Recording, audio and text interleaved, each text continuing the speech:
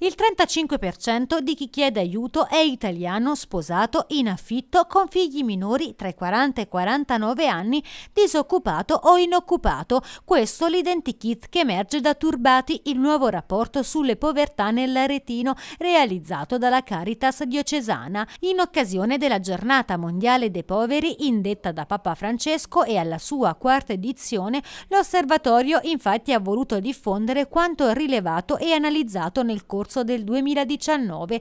Sono state dunque 2007 le famiglie o persone registrate nei servizi e nei centri della Caritas diocesana e di quelle parrocchiali, con il 35,3% di italiani che rimane abbondantemente la nazionalità più presente. Il rapporto conferma poi come la famiglia sia la principale condizione di convivenza registrata con il 63,5% delle presenze e come indirettamente siano stati aiutati ben 1000 1.415 figli minori. Le problematiche rilevate nel corso del 2019 sono state 1.055 con una media di 1,9 per ogni registrazione. Il problema principale resta quello economico amplificato dalla mancanza di lavoro, la fascia critica quella che va dai 30 ai 49 anni che da sola raccoglie quasi il 50% delle persone in difficoltà. Parallelamente all'analisi di quanto emerso nel 2019 ci siamo trovati quest'anno ad affrontare un incremento esponenziale di richieste d'aiuto dovute alla pandemia, spiega il direttore della Caritas diocesana